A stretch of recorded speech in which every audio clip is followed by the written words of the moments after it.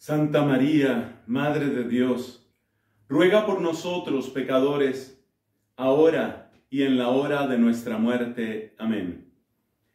En el nombre del Padre y del Hijo y del Espíritu Santo. Amén. Mis queridos hermanos, hemos escuchado a lo largo de este día varios predicadores, predicadoras, que nos han hablado del poder del Espíritu Santo, de lo que Dios con su Espíritu puede hacer en nuestras vidas. Eso está claro. Y entonces nos preguntamos, ¿por qué algunas personas sienten que ese mensaje del Espíritu y ese poder del Espíritu no es para ellos? Es como si algunas personas sintieran todas esas cosas tan bonitas que están diciendo son para otros. Son para la gente especial. Son para la gente espiritual. O son para la gente buena.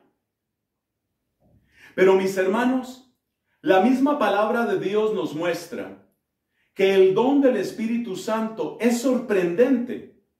Y es sorprendente el don del Espíritu porque obra en personas comunes. Mira, en el libro de los Hechos de los Apóstoles tenemos numerosos testimonios del poder del Espíritu Santo obrando en personas que ni siquiera conocemos por su nombre. Vamos a dedicar los minutos siguientes, vamos a dedicarlos a hablar sobre los héroes anónimos del Espíritu. Ese podría ser el título de esta predicación. Héroes anónimos del Espíritu. Porque vamos a ver que personas tan sencillas, personas que ni siquiera dejaron su nombre, fueron instrumentos poderosos del Espíritu Santo. Algunos apenas los conocemos por unos cuantos versículos. Todo lo vamos a basar en el libro de los Hechos de los Apóstoles y por eso te invito a que tengas muy cerca de ti tu Biblia católica. Ten ahí la Biblia y ábrela en el libro de los Hechos de los Apóstoles. Yo sé que hay hombres muy grandes que aparecen en los hechos de los apóstoles. Sobre todo destacan el apóstol Pedro y el apóstol Pablo. De hecho, el apóstol Pablo ocupa prácticamente la mitad del libro de los hechos de los apóstoles y un poco más. Pero además de esos gigantes de la santidad, hay una cantidad de personas en las cuales se manifiesta Dios. Y es muy importante acercarnos al testimonio de estas personas. Y es muy importante conocer estos héroes que o son totalmente anónimos o son casi anónimos.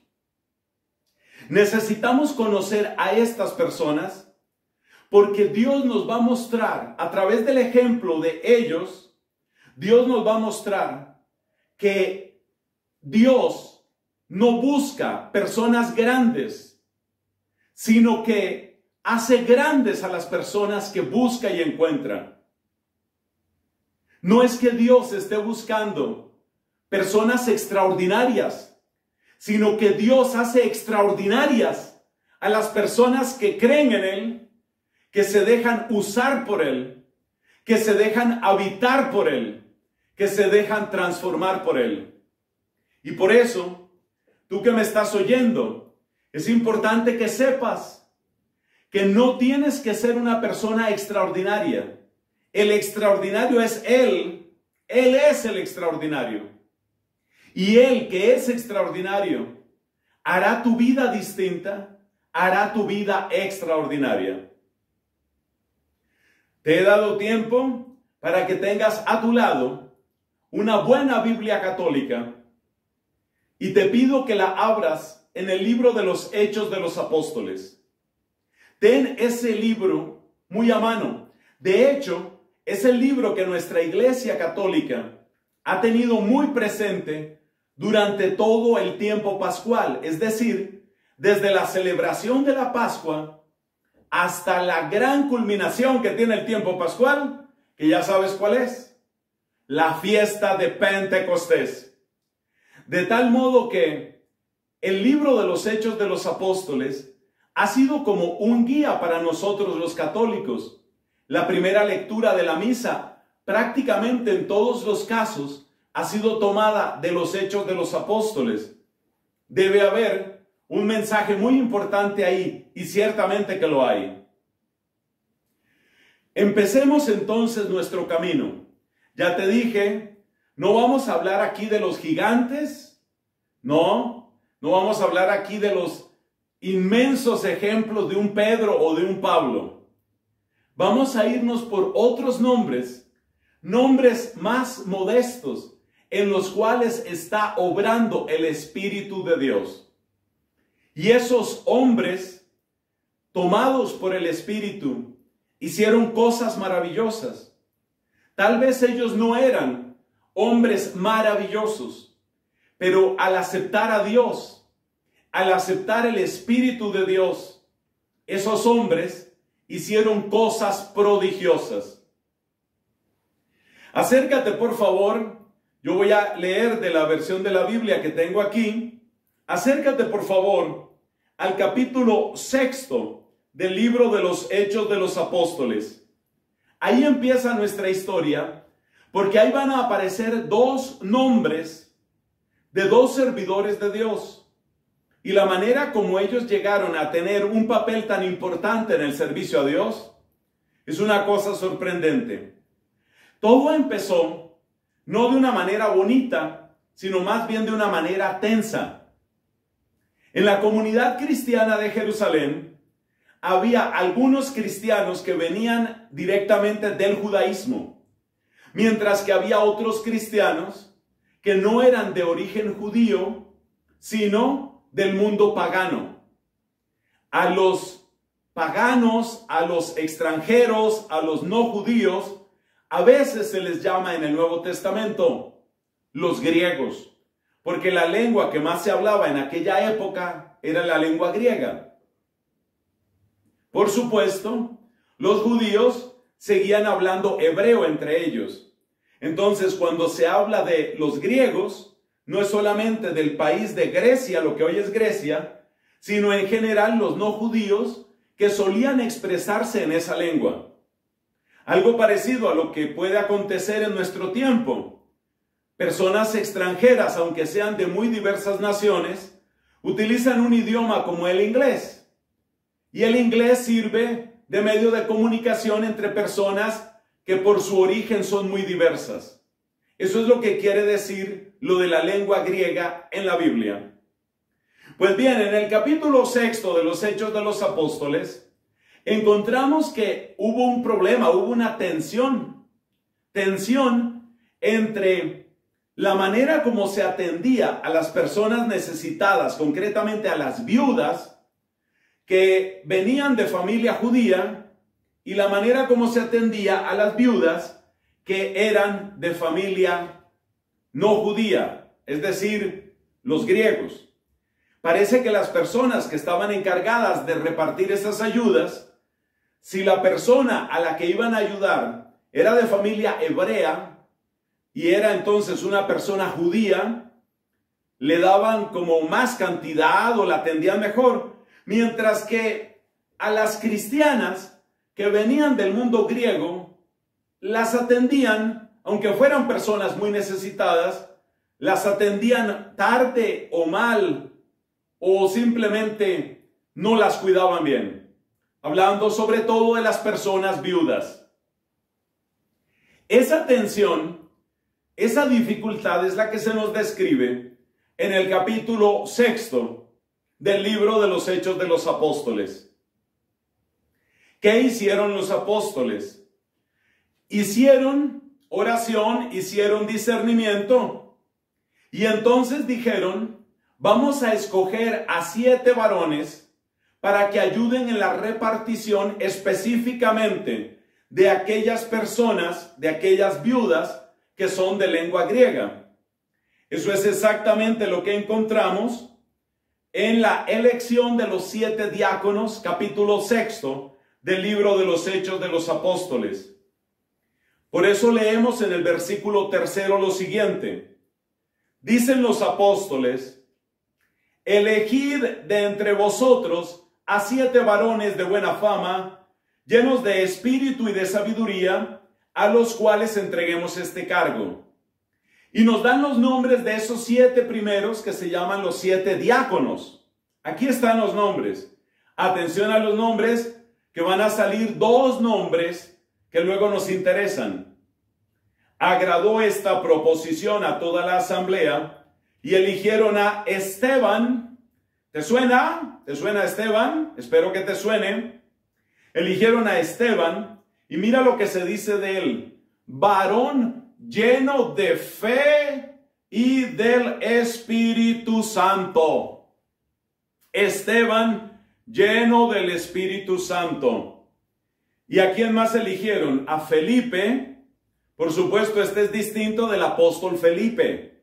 Eligieron a Esteban, a Felipe, y luego vienen otros nombres. Prócoro, Nicanor, Timón, Parmenas, Nicolás. Estos son los que fueron elegidos. Ya te das cuenta que la manera como estos personajes entran en la historia bíblica no es la manera más bonita. Fue a raíz de un problema, fue a raíz de una discusión, fue a raíz de una tensión. Pero lo que nos interesa aquí es que eran hombres virtuosos conocidos por la asamblea, y de Esteban ya se dijo que estaba lleno del Espíritu Santo. Y entonces, ¿qué pasa con Esteban?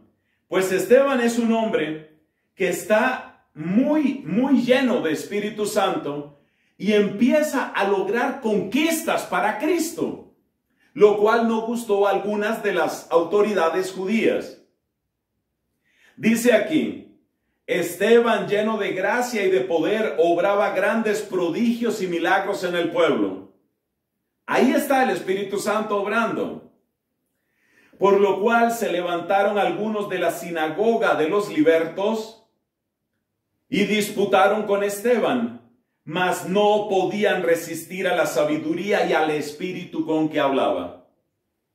Ya ves, aquí tienes a un hombre que resultó en primer plano resultó con una responsabilidad, podríamos decir, sin pensarlo.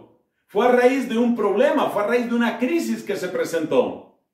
Y ahí está Esteban, lleno del Espíritu Santo, conquistando gente para Cristo. Luego en el capítulo séptimo de Hechos de los Apóstoles se cuenta cómo habla Esteban con ese poder del Espíritu, cómo muestra a Esteban todo lo que él comprende de la historia que Dios ha ido construyendo con aquel pueblo elegido.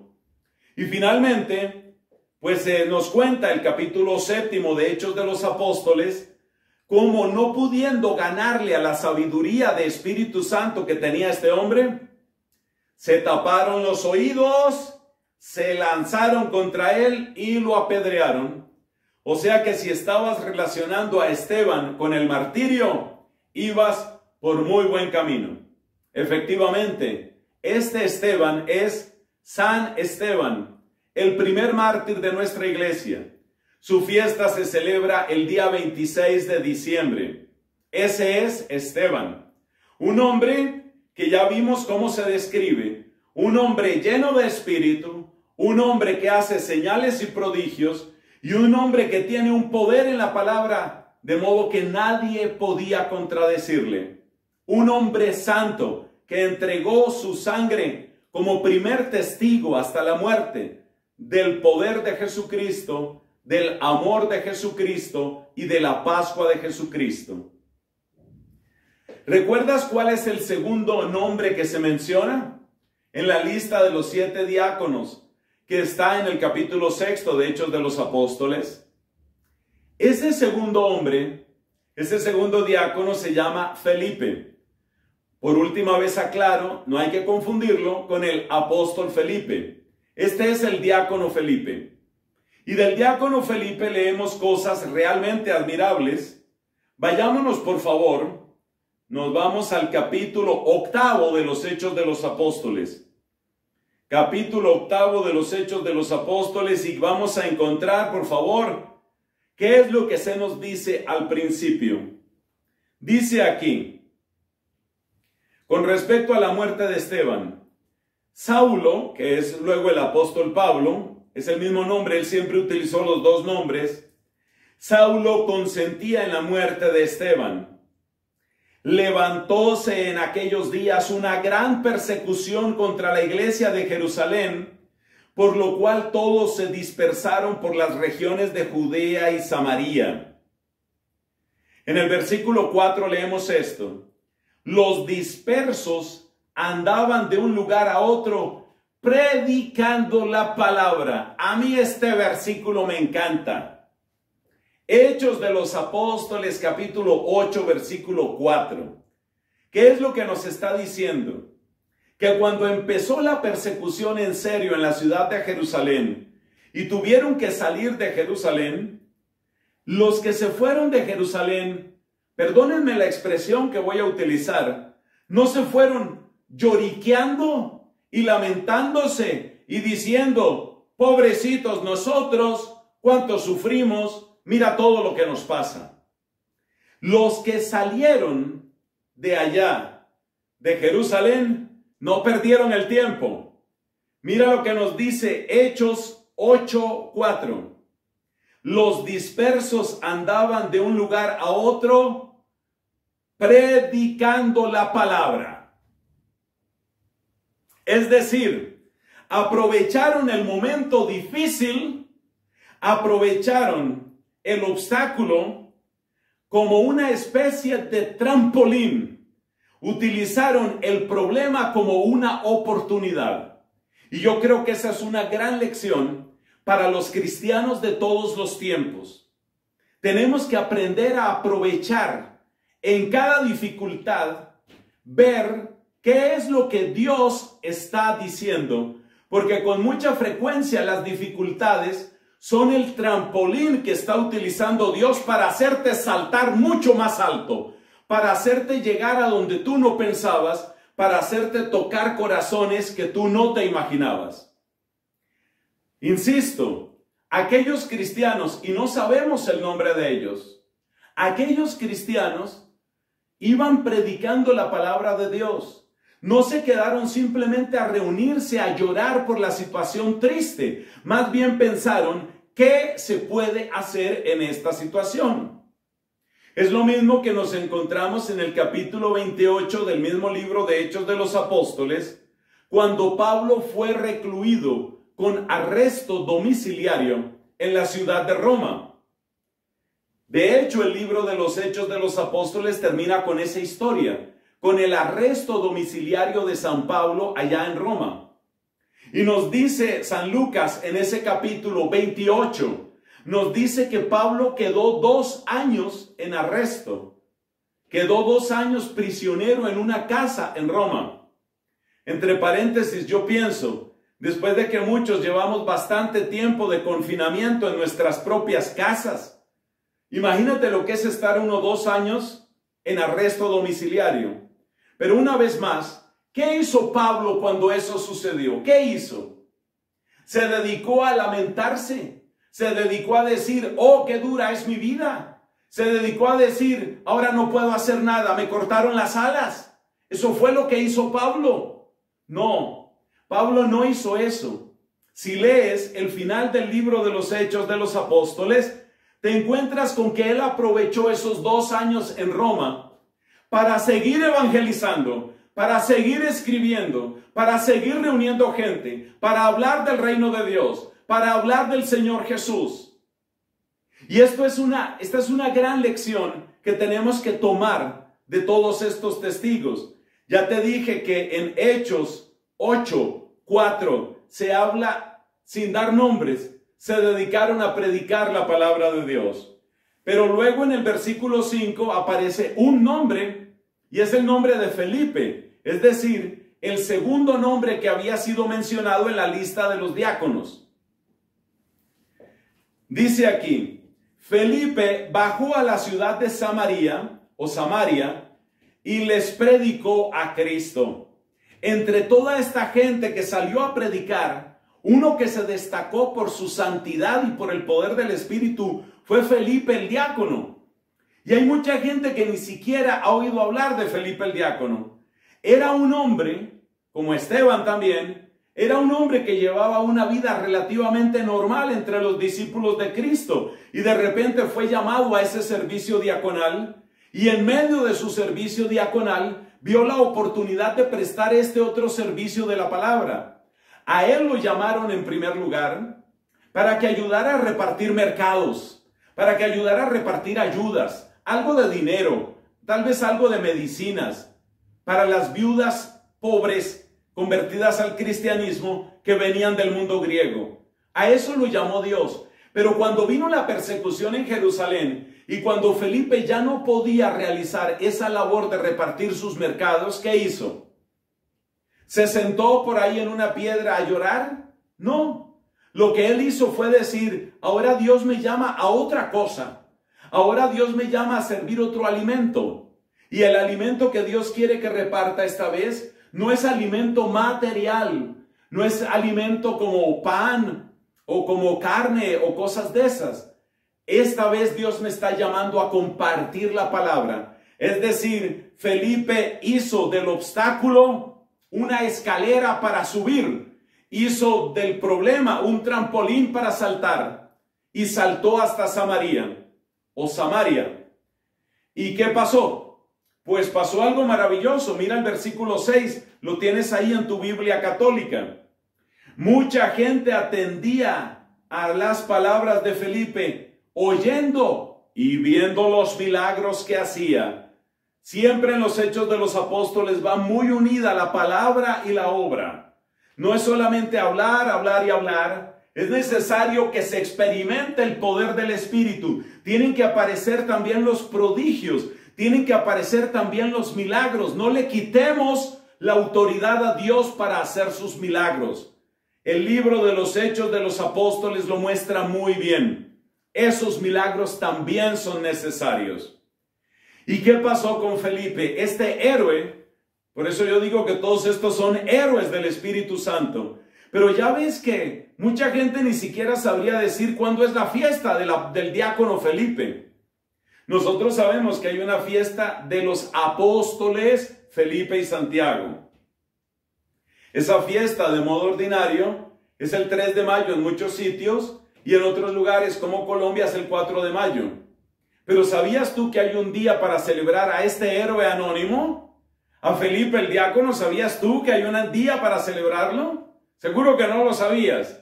Yo tampoco lo sabía. Pero te lo voy a dejar de tarea. Existe una cosa que se llama Internet. Existe un buscador que se llama Google. Busca Felipe el diácono y entonces te encontrarás que efectivamente hay una fiesta para, para este hombre, este gran hombre, pero es casi desconocido. ¿Por qué? Porque era una persona, ya te dije, común y corriente, y sin embargo una persona en la cual Dios hizo maravillas. Leamos un poquito más de las maravillas que Dios hizo a través del diácono Felipe, una persona que resultó sirviendo a Dios por una circunstancia tan cotidiana tan supremamente humana como fue repartir mercados. Ahí resultó Felipe haciendo esta obra. Es absolutamente maravilloso. Bueno, ¿qué más hizo Dios con Felipe? Mira el versículo 7. De muchos que tenían espíritus inmundos, salían los espíritus inmundos dando grandes gritos y muchos paralíticos y cojos fueron sanados por lo cual se llenó de gozo aquella ciudad. Luego se nos cuenta otra obra de Felipe a partir del versículo 26. Una cosa muy bonita de Felipe es que no perdió la humildad. Él era un diácono.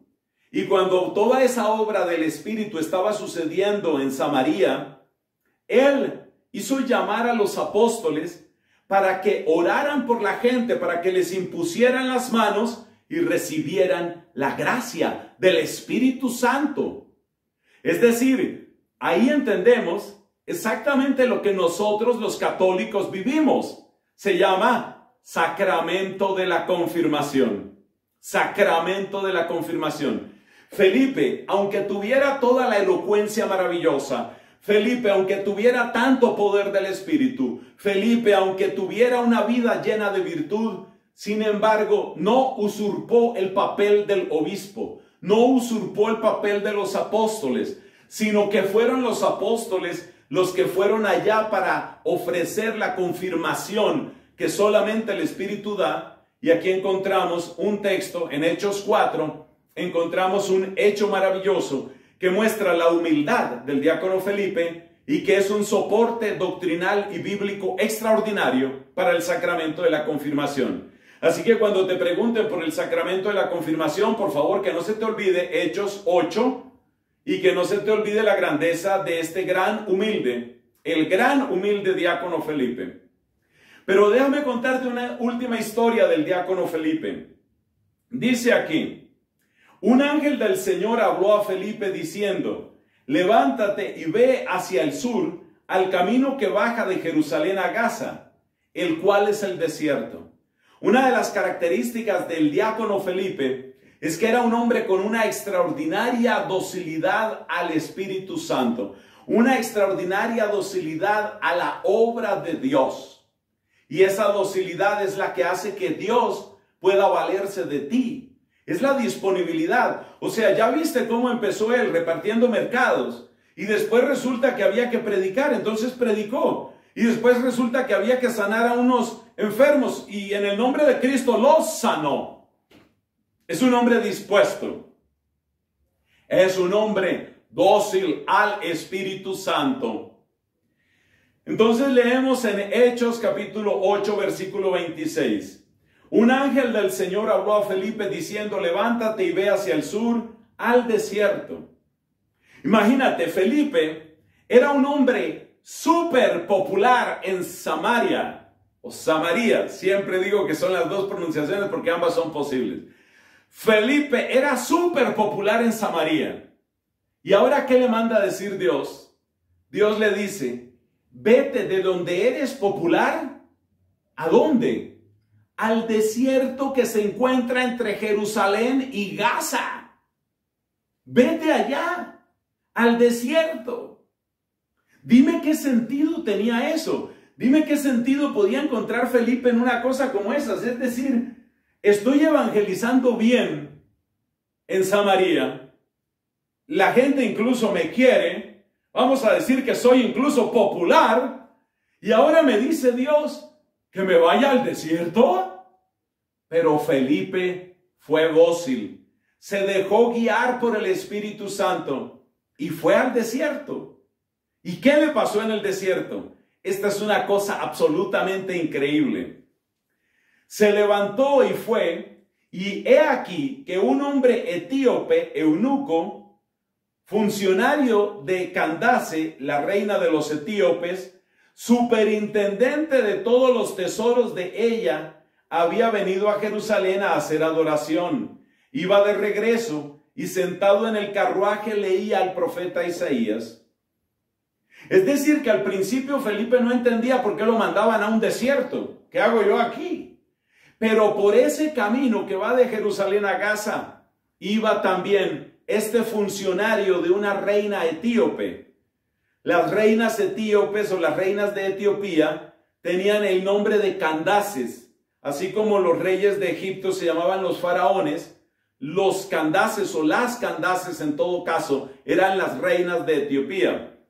Y este hombre, que era funcionario importantísimo del reino etíope, iba ya de vuelta porque él tenía simpatía por el judaísmo, había ido a Jerusalén y ya iba de vuelta a su país. Un viaje larguísimo, larguísimo. O sea, si tú miras dónde está Jerusalén y dónde está lo que en esa época se llamaba Etiopía, que corresponde más o menos al sur de Egipto, el viaje que le esperaba era de cientos de kilómetros durísimos. Pero el hecho es que en ese desierto, Dios le proveyó a este funcionario, a este etíope, Dios le proveyó un predicador personal. Y ese predicador personal fue Felipe, un hombre que era capaz de convertir todo un pueblo. Dios se lo mandó a este hombre. El que era capaz de hacer milagros para todo un pueblo fue a encontrarse con este funcionario. Me impresiona de ese pasaje cuán preciosos somos nosotros para Dios. Piensa, piensa a quién le envió Dios, a ese eunuco funcionario de Etiopía. Le mandó a uno de los mejores predicadores vivos que había sobre la tierra, un hombre que había hecho multitud de milagros y exorcismos, y Dios se lo mandó solamente a él, a él. Es grandioso. Pero el diálogo que sucede entre ellos también vale la pena recordarlo. Aquel hombre, como dijimos, iba en su carruaje, tenía carruaje pues porque era un funcionario que manejaba la economía de Etiopía, no era cualquiera. Y entonces iba leyendo al profeta Isaías. Dijo entonces el Espíritu a Felipe, acuérdate que Felipe era un hombre dócil al Espíritu Santo. Y eso es lo que Dios espera de nosotros, que no le pongamos tantas condiciones, que dejemos tanta lamentación y tanta quejadera, y que más bien pensemos cómo podemos servirle en este momento y en estas circunstancias. Eso fue lo que hizo Felipe. La Biblia no dice que Felipe empezó a quejarse y a decir, ay, qué calor, qué calor el que hace en este desierto. Felipe estaba haciendo un encargo y lo estaba haciendo muy bien. ¿Qué pasó con Felipe? El Espíritu le dijo a Felipe, acércate, acércate y allégate a ese carruaje. Corrió pues Felipe hacia allá y oyendo su lectura del profeta Isaías le preguntó, ¿entiendes lo que estás leyendo? Así empezó la conversación entre Felipe y el etíope. ¿Entiendes lo que estás leyendo? Le respondió el etíope, ¿cómo podría entender si no hay quien me sirva de guía?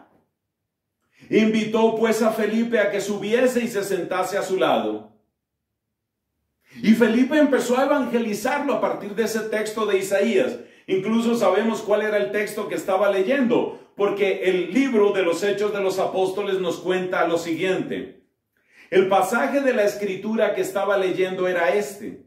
Como una oveja fue conducido al matadero y como un cordero enmudece delante del que lo trasquila, así él no abre su boca. Ese es un texto que se encuentra en el capítulo 53 de Isaías.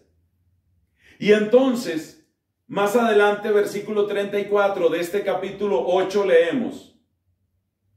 El eunuco le preguntó a Felipe, te pido, ¿de quién dice esto el profeta? ¿Lo dice de sí mismo o lo dice de otro? Por supuesto, es un texto precioso que tiene una aplicación mesiánica inmediata, porque Isaías 53 es una descripción impresionante de la pasión de Cristo para quien sepa leerla. Felipe no perdió esa oportunidad y empezó a evangelizar a ese hombre que jamás se podía imaginar que Dios le tenía tal regalo en ese despoblado. Y entonces Felipe le estuvo predicando al el funcionario etíope. ¿Y qué pasó? Versículo 36. Prosiguiendo el camino, llegaron a un lugar donde había agua. Y dijo el eunuco, ve, hay agua. ¿Qué me impide ser bautizado? Mandó parar el carruaje. Ambos bajaron al agua. Felipe y el eunuco. Y Felipe le bautizó. Felipe le bautizó. Para eso el Espíritu Santo lo había mandado a ese peladero, a ese desierto, para hacer esa buena obra. Por cierto, hay cristianos en la actual Etiopía que afirman que su fe se remonta a este pasaje de la Escritura y dicen que así empezó la fe cristiana en Etiopía. Admirable. Entonces date cuenta, estos son los héroes anónimos del Espíritu Santo. Un hombre dócil, un hombre del cual muchísimos católicos jamás han escuchado hablar y sin embargo, un hombre que sirvió de instrumento para el Espíritu Santo y para hacer esta clase de obras. Veamos otros que son todavía menos conocidos. De hecho, tan desconocidos que no sabemos su nombre. Sigue por favor en tu Biblia. Sigue en tu Biblia católica y vete a Hechos de los Apóstoles, capítulo 11. Unas paginitas más. Hechos de los Apóstoles, capítulo 11, versículos del 19 al 21. ¿Qué vamos a encontrar ahí? Ya sabemos que el libro de los Hechos de los Apóstoles describe la propagación del Evangelio, la expansión de la buena noticia cada vez a más lugares. Ya eso lo tenemos claro. Bueno, pues ahora déjame que te diga esto. Vamos a Hechos de los Apóstoles, capítulo 11, versículos del 19 al 21, y tú verás como una de las fronteras más difíciles de cruzar en la predicación del Evangelio es decir, la frontera entre judíos y no judíos, esa frontera, ¿quiénes se atrevieron a cruzarla por primera vez? ¿Quiénes? Pues yo quisiera saber los nombres. No están los nombres. Héroes anónimos del Espíritu Santo. Y a ellos, por lo visto, tampoco les importaba mucho que se supieran sus nombres. Leamos el texto, por favor. Mira lo que dice. Aquellos que habían sido dispersados a causa de la persecución contra Esteban fueron hasta Fenicia. Eso es bien al norte. Eso es mucho más al norte de Samaria. Hasta Chipre, la isla de Chipre, y hasta Antioquía. Antioquía queda en lo que hoy es la actual Siria. Y esta Antioquía, porque había varias, se llamaba precisamente Antioquía de Siria predicaban el Evangelio únicamente a los judíos. Había entre ellos algunos varones de Chipre y Sirene, los cuales llegados a Antioquía, conversaron también con los griegos, anunciándoles al Señor Jesús. Ya sabemos que los griegos significa aquí gente no judía. ¿Te das cuenta? Algunos varones de Chipre y de Sirene ¿Y cómo se llamaban? No sabemos. No sabemos cómo se llamaban. Héroes anónimos. Ellos empezaron a romper la barrera entre judíos y no judíos. Ya fue gran cosa que Felipe pudiera predicar a los samaritanos, porque todos conocemos que las relaciones entre judíos y samaritanos no eran buenas. Pero aquí se está hablando de predicar a los griegos, gente que no tenía nada que ver con el judaísmo. ¿Y quiénes dieron ese paso tan trascendente? ¿Conocemos siquiera un nombre? No hay mucha certeza. Mira lo que sucede. Dice aquí en el versículo 20, había entre ellos algunos varones de Chipre y Sirene, los cuales llegados a Antioquía conversaron también con los griegos anunciándoles al Señor Jesús. ¿Y las cosas se quedaron solo de palabrita? No, mira lo que dice, versículo 21, Hechos 11, 21. La mano del Señor estaba con ellos y un gran número abrazó la fe y se convirtió al Señor. Siempre que en Hechos de los Apóstoles encuentras la expresión la mano del Señor, se refiere a las obras poderosas, los milagros y prodigios que hace el Señor. ¿Y quiénes fueron estos héroes que traspasaron la frontera entre judíos y no judíos? Gente llena de Espíritu Santo, que hizo obras en el nombre de Dios y de su Santísimo Hijo Jesucristo. ¿Quiénes fueron? Gente como tú y como yo. Gente entre comillas normal. Ni siquiera conocemos sus nombres, pero Dios estaba obrando a través de ellos. Dios estaba obrando ahí. Es absolutamente precioso. Bueno, en el mismo capítulo te vas a encontrar con un hombre del cual se hacen unas cuantas alusiones en Hechos de los Apóstoles. Es bastante más conocido. Ese hombre se llama Bernabé y es celebrado en la iglesia como el apóstol Bernabé. Pero es muy poco lo que se sabe de él en comparación con la calidad de santo que era. Precisamente en el versículo 22 de este mismo capítulo 11 se nos habla ya de Bernabé. Mira lo que aparece. La noticia de estas cosas llegó a oídos de la iglesia que estaba en Jerusalén, por lo cual enviaron a Bernabé hasta Antioquía. Este, llegando allá y viendo la gracia de Dios, se llenó de gozo y exhortaba a todos a perseverar en el Señor, según había propuesto en su se habían propuesto en su corazón. Era un varón bueno, lleno de Espíritu Santo y de fe. Así se agregó un gran número al Señor. Sobre Bernabé sabemos un poquito más, como ya dije. Si tú buscas a la altura del capítulo quinto de Hechos de los Apóstoles, se menciona la generosidad de Bernabé. Yo creo que eso es interesante. Devolvámonos un momento. Devolvámonos un momento porque es necesario que se sepa. No es el, capítulo 5, sino propiamente es el versículo, es el capítulo 4. Si tú miras en Hechos de los Apóstoles, capítulo 4, versículo 36, se cuenta quién era este Bernabé. Dice, así también José, a quien los apóstoles pusieron por sobrenombre Bernabé, que significa hijo de consolación, levita y natural de Chipre, tenía un campo que vendió y cuyo precio trajo poniéndolo a los pies de los apóstoles. En Hechos de los Apóstoles 4:36 se nos cuentan los comienzos de la fe de Bernabé. Bernabé, que era chipriota, era de la isla de Chipre, convencido por el poder de la predicación de los apóstoles, vendió un campo que tenía y puso el dinero a disposición de los apóstoles. Así empezó la carrera en la fe de este gran hombre Bernabé.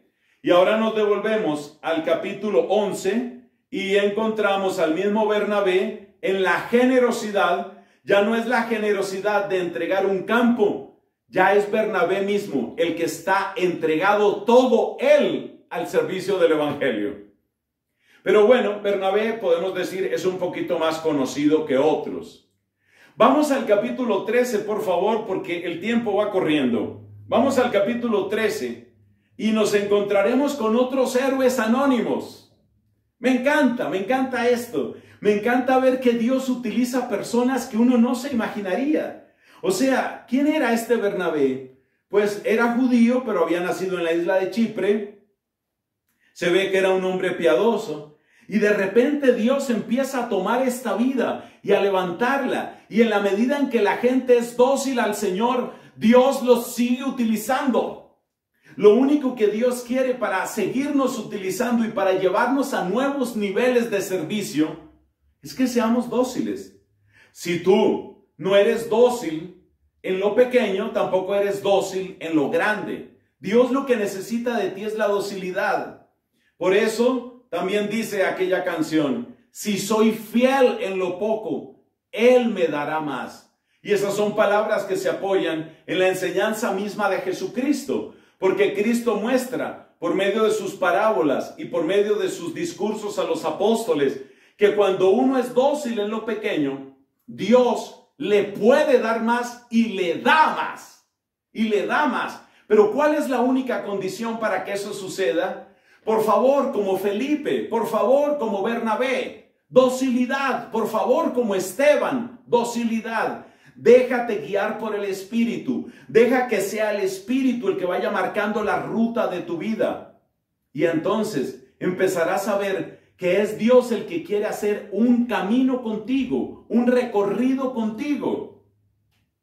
El Papa Francisco, corrigiéndonos a nosotros los sacerdotes y también a los señores obispos, dice, no se pongan a hacer carrera ustedes.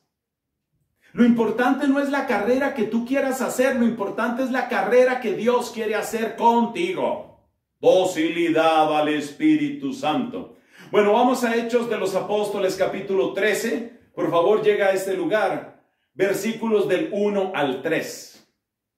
Versículos del 1 al 3. Aquí seguimos todavía con la comunidad cristiana de Antioquía. Antioquía de Siria. Había en la iglesia de Antioquía profetas y doctores. Bernabé, se ve que Bernabé se quedó ahí en Antioquía, ¿no? Bernabé Simón, por sobrenombre el negro, Lucio de Sirene, Manaén, hermano de leche del tetrarca Herodes, y Saulo, Saulo de Tarso, que se había quedado también en Antioquía. Antioquía fue también el primer lugar donde empezaron a llamar cristianos a los discípulos de Cristo, a nosotros, discípulos de Cristo. A ellos, mientras ejercían el ministerio ante el Señor y ayunaban, dijo el Espíritu Santo, separadme a Bernabé y Saulo para la obra a la cual los tengo elegidos. Entonces, después de ayunar y orar, les impusieron las manos y los despidieron. ¿Qué dice el versículo 2? Hechos 13, 2, ¿qué es lo que dice? Lo que dice es lo siguiente, lo vuelvo a leer. A ellos, a ellos, es decir, a ese grupo de, podríamos decir, de servidores, profetas y doctores, a ellos, dijo el Espíritu Santo, separadme a Bernabé y Saulo para la obra a la cual los tengo elegidos. Eso dijo el Espíritu Santo. Pregunta, ¿A través de quién dijo eso el Espíritu Santo? ¿Cuál fue el instrumento precioso que abrió las llaves para las misiones de Pablo? ¿Te acuerdas que el libro de los Hechos de los Apóstoles nos habla hasta de cuatro viajes misioneros inmensos, tremendamente fecundos de Pablo? Ese fue un camino precioso de expansión de la palabra de Dios. Y la pregunta es, ¿tú sabes te hago esta pregunta. ¿Tú sabes quién inició eso? ¿Tú sabes quién abrió la puerta para esas misiones? En la primera misión salieron Bernabé y Pablo y fueron en primer lugar a Chipre y luego dieron la vuelta y llegaron hasta Antioquía de Pisidia, hasta la otra Antioquía. Y bueno, Listra, Derbe y una cantidad de situaciones que pasaron. ¿Cómo empezaron esas misiones? ¿Cómo mostró Dios que había que dar ese nuevo paso? a través de quien dijo Dios semejante mensaje tan trascendente, tan importante, como dicen en inglés, earth shattering, earth shattering message. A través de quien dijo Dios semejante mensaje. Está en Hechos de los Apóstoles capítulo 13 versículo 2. El nombre no aparece.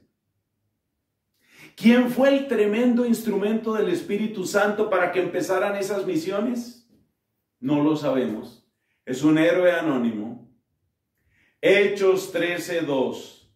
Dijo el Espíritu Santo, separadme a Bernabé y Saulo para la obra a la cual los tengo elegidos. Y empezaron las misiones de Pablo. Y con las misiones de Pablo llegó el Evangelio a Tesalónica, a Corinto, a Éfeso, a Galacia, hay rastros de la predicación de Pablo, por supuesto, en Roma, incluso en España. Y la pregunta es, ¿cómo hubiera cambiado la historia del mundo sin este mensaje que aquí se cuenta? ¿Cómo hubiera cambiado? ¿Y quién fue el bendito instrumento del Espíritu Santo para dar semejante mensaje que nos implica a nosotros? ¿Por qué hay fe en América Latina? ¿Por qué hay fe cristiana en tantos lugares? La mayor parte de los misioneros salieron de España y algunos también de Portugal. La mayor parte de España. Muy distinta fuera la historia de la humanidad, de la humanidad, sin el versículo 2 del capítulo 13 de Hechos de los Apóstoles. Pero no sabemos quién fue la persona que dio ese mensaje absolutamente trascendental. Devolvámonos al capítulo 11 para encontrarnos con un hombre cuyo nombre sí conocemos. Y en algunas partes, por ejemplo, entre los ortodoxos se le celebra como santo. Pero voy a decir el nombre de él.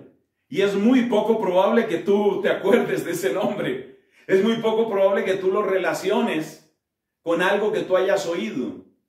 Porque esta predicación se llama Héroes Anónimos del Espíritu Santo. En Hechos de los Apóstoles capítulo 11, versículos del 27 al 30.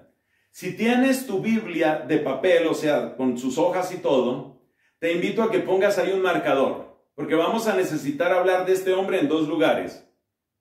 Uno es Hechos 11, del 27 al 30, y el otro es Hechos 21, del 10 al 12. Hechos 21 del 10 al 12. ¿Ya te los aprendiste? Hechos 11 del 27 al 30 y Hechos 21 del 10 al 12. Y el hombre del que vamos a hablar, pues ya te vas a dar cuenta quién es. En aquellos días bajaron profetas de Jerusalén a Antioquía. Oye, qué importante que fue Antioquía, ¿no?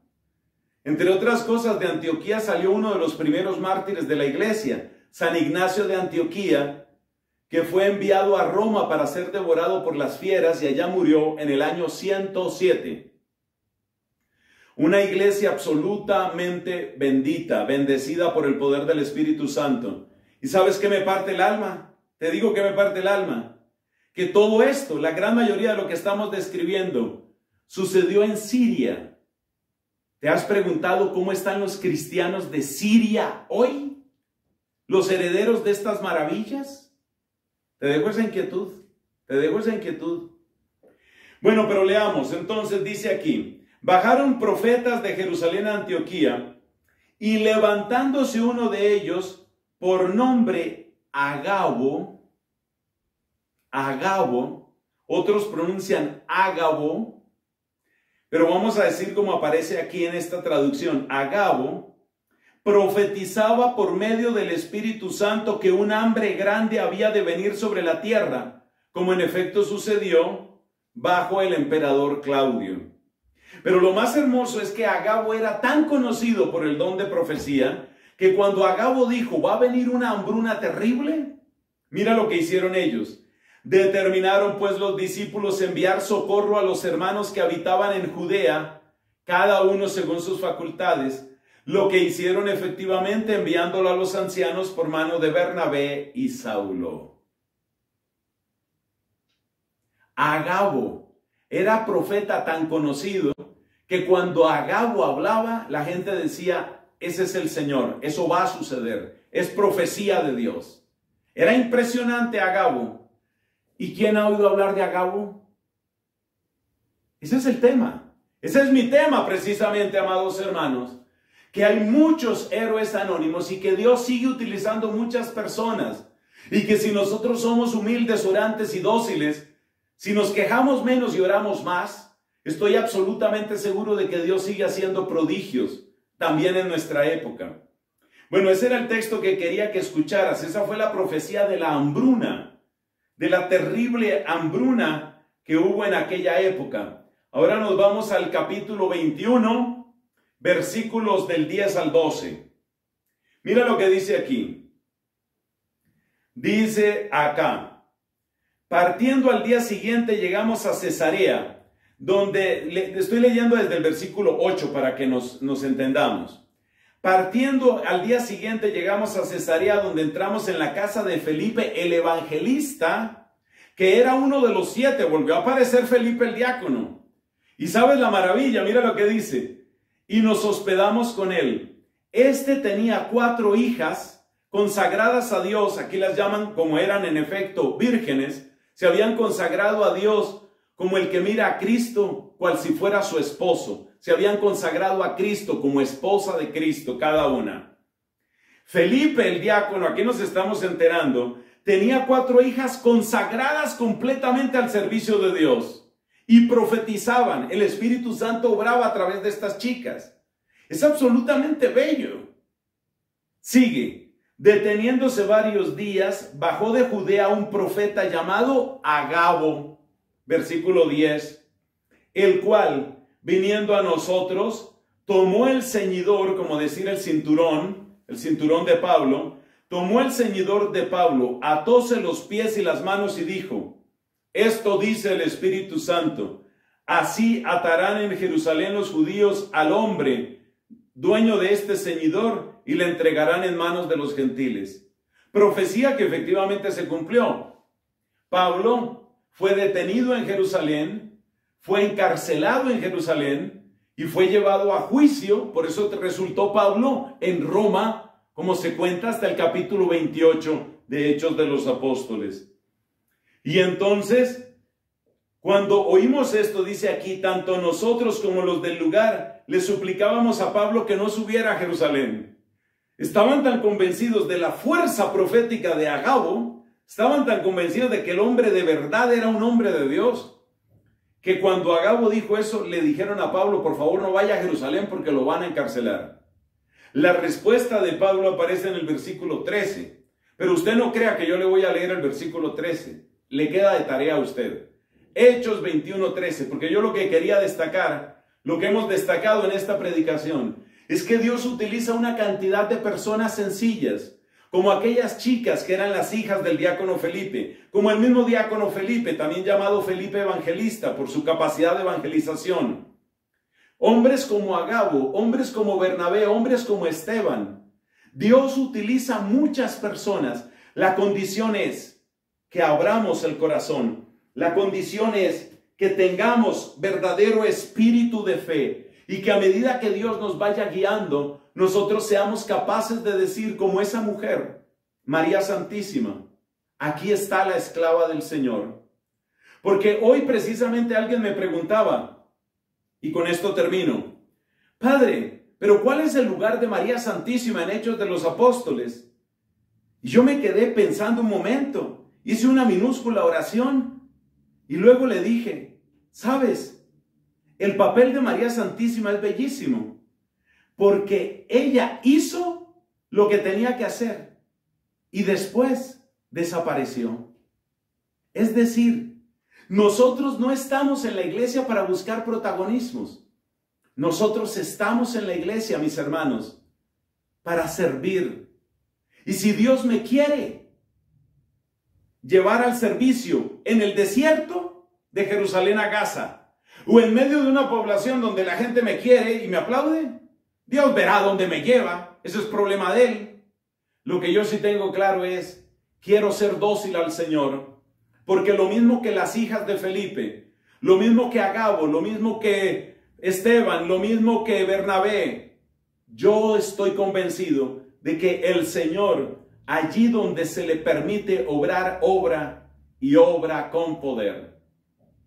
Ahora permítanme, hermanos, que les ofrezca la bendición, pidiéndoles que, pidiéndole a Dios que les conceda a cada uno de ustedes un Pentecostés hermoso, un Pentecostés bello, un Pentecostés en el cual el Señor se alegre de ti.